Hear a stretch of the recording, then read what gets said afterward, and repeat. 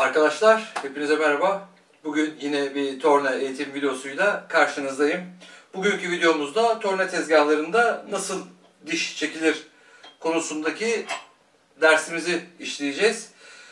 Bu tip universal tezgahlarda diş nasıl çekilir diye çok fazla e, soru geliyordu bana. Hem buna bir cevap olsun hem de e, diş çekmenin ne demek olduğunu hep beraber öğrenelim. Diş çekmek derken vida e, adımı kesebilmek aslında malzeme üzerinde. Özellikle bazı terimlere ve bazı ölçüleri e, biliyor olmamız gerekiyor.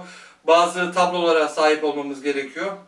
Aynı zamanda anma çapı, vida adımı, e, diş yüksekliği, dış vida çapı, iç vida çapı gibi e, terimlere birazcık aşina olmamız gerekecek.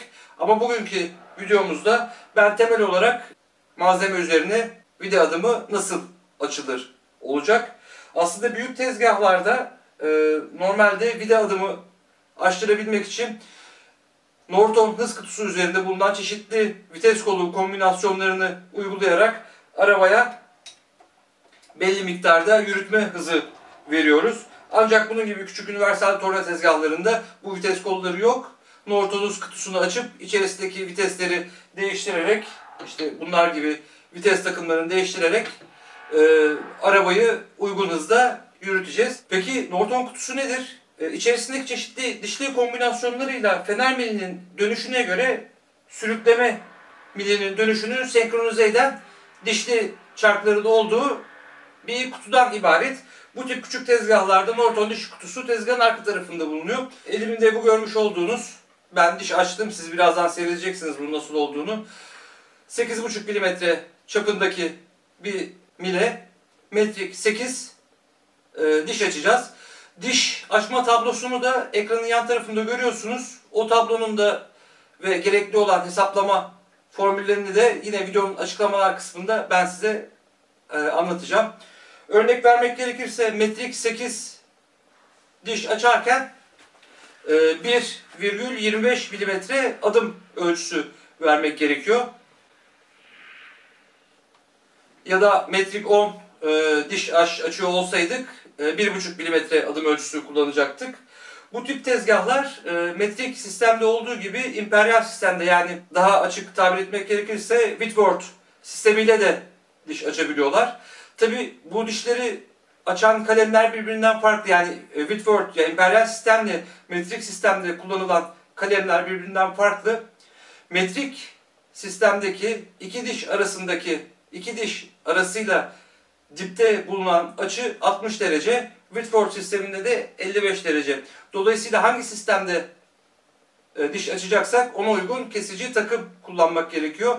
Aksi takdirde e, kullanacağımız e, somun veya işte civata e, delikte ilerlemeyecektir. Biz tabi ülkemizde kullanılan metrik sistem üzerinden hareket ederek e, bu işlemi gerçekleştireceğiz.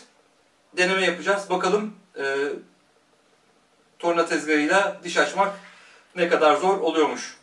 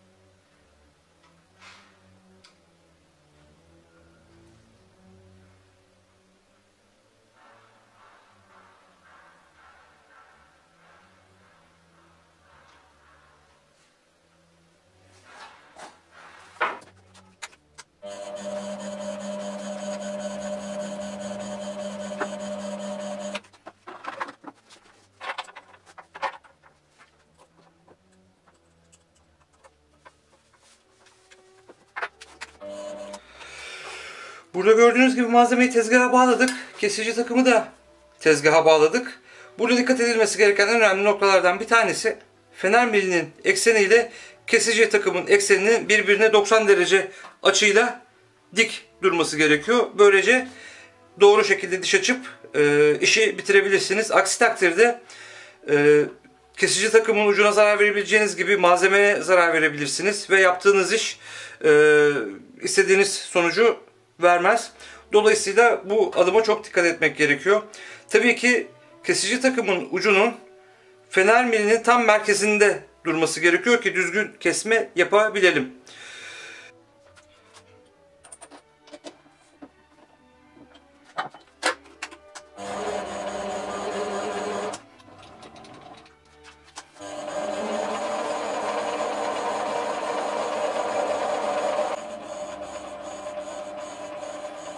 Aynı tornalama işleminde olduğu gibi diş açarken de e, tezgahı dikkatli kullanmak gerekiyor. İlk başta gördüğünüz gibi toz kaldıracak şekilde kalemi malzemeye yaklaştırıyorum. Uygun miktarda diş kaldırdıktan sonra tezgahın ön tarafında bulunan komütatörden tezgahı kapatıyorum ve tezgahı ters tarafa çalıştırmaya başlıyorum ki araba geriye doğru hareket etsin. Yeteri kadar uzaklaştıktan sonra birazcık daha talaş veriyorum ve tezgahı düz şekilde çalıştırıyorum. Tekrar komutatörden tezgahı kapatıyorum. Kalemi %3, %4 şekilde tezgahtan, malzemeden uzaklaştırıyorum ve tek, tezgahı tekrar ters çalıştırıyorum.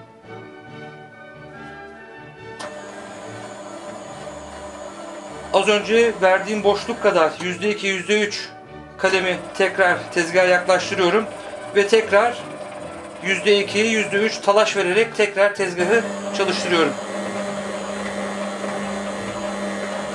Uygun şekilde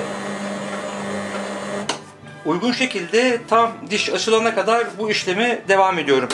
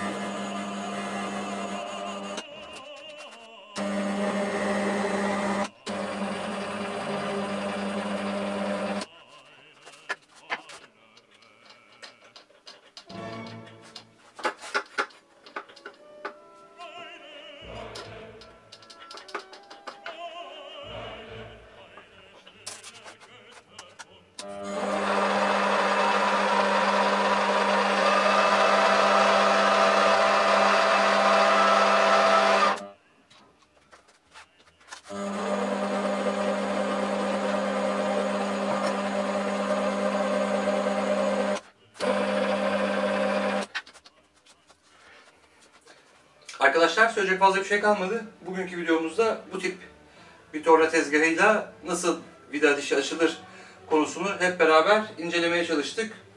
Umarım sizin de istifade edeceğiniz e, bir video olmuştur.